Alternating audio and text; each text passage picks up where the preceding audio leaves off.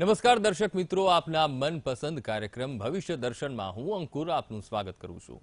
દર્શક મિત્રો આ એક એવો કાર્યક્રમ છે જેમાં આપને જ્યોતિષને બાબતને લગતી સમસ્યા હોય કોઈ શંકા હોય તો તેનું સમાધાન આપ એક ફોન કોલથી મેળવી શકો છો. તો આજે આપણી સાથે સ્ટુડિયોમાં જોડાયા છે જ્યોતિષાચાર્ય મુકુંદભાઈ પંડ્યા. મુકુંદભાઈ સ્ટુડિયોમાં આપનું સ્વાગત છે. સુપ્રભાતમ ધન્યવાદ. મુકુંદભાઈ આજે પંચાંગમાં શું છે તે આપણા દર્શક મિત્રોને કહેશો. યસ્ય સ્મરણ માત્રેણ જન્મ સંસાર બંધનાત વિમુચ્યતે નમસ્તસ્મે વિષ્ણવે પ્રભ વિષ્ણવે. સર્વ દર્શક મિત્રોને મારા અને પૂરી ભવિષ્ય દર્શનની ટીમ તરફથી સર્વને જય ગણેશ.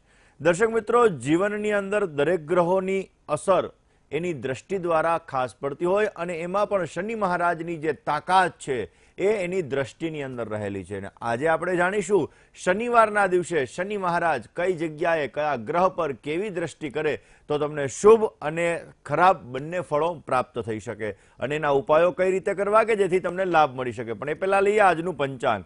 દર્શક મિત્રો, આજના દિવસની જો વાત કરવામાં આવે તો આજના દિવસની અંદર ચોવીસ નવેમ્બર બે અઢારનો દિવસ બની રહ્યો છે.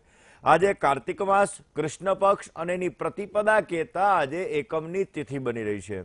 રોહિણી નામનું નક્ષત્ર, શિવ નામનો યોગ અને કૌલવ નામનું કરણ ચાલી રહ્યું છે અને બારે બાર રાશિઓનું ભવિષ્ય કથન જેના આધાર ઉપર કહેવામાં આવશે એવું ચંદ્રમાનું ભ્રમણ. આજના દિવસની અંદર વૃષભ રાશિની અંદર રહેશે, એટલે આજે જે કોઈ પણ બાળકોનો જન્મ થશે, તેમની રાશિ વૃષભ રહેશે, જેના અક્ષર બ, વ અને ઉ રહેશે. તો આજે જન્મનાર બાળકોનું ભવિષ્ય સુંદર, સુખમય, આનંદમય રહે તેવી શુભકામના સાથે અને જે લોકોની આજે લગ્નની તારીખ છે, એમનું દાંપત્ય જીવન હર્ષમય રહે તેવી શુભકામના સાથે સર્વને જય ગણેશ. મુકુંદભાઈ, આજે દિન વિશેષમાં શું છે તે આપણા દર્શક મિત્રોને કહેશો. અંકુરભાઈ, દિન વિશેષની અંદર આપણે ખાસ કરી અને કંઈક જાણવા જેવી વસ્તુઓ વિશે વાત કરતા હોઈએ છીએ. અને આજે આપણે વાત કરવાની છે કે શનિ મહારાજ. જેનાથી લોકો ભયભીત થતા હોય છે શનિ મહારાજની દ્રષ્ટિ વિશે.